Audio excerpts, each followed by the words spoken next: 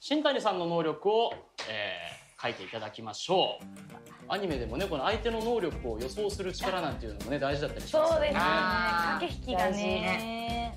結構ねアニメでもその上でなんかちょっとその相手の能力に関してのね、はい。能力でアドバンテージを得られる能力もあったりとか、そう言葉遊び的なのがなんかすごいよく考えられるなって感じ なんか目隠ししながら作品について語ってるの。めっちゃ面白い。はい書けた。書けましたかはい1分間の質問タイムに移りましょう。よーいスタート。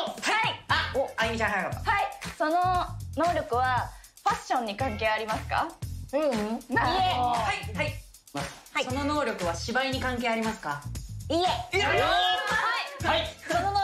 作品に関係ありますか？いいえうわー全部言え。はい。なんだ？その能力は衣食住に関係ありますか？うーん。広い意味でははいだけど。うんいいえ。30秒はい、はい。どうぞ。その能力は移動に関係する能力ですか？いいえ。いいえ。いい絵だらけです。えなんだろう。なかなか絞れない。そうじゃあ一個ヒントを言うわはいじゃあ精神攻撃だよ。精神攻攻撃あと20秒。え精神攻撃？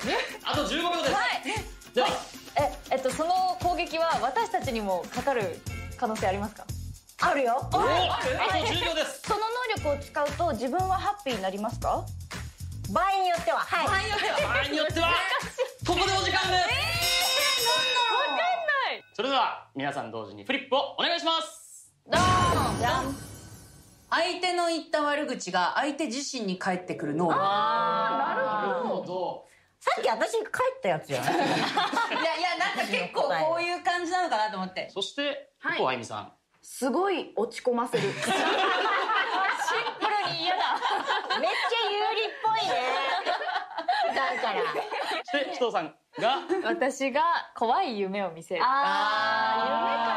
がそれでは新谷さん正解の発表お願いします。いきますじゃじゃん。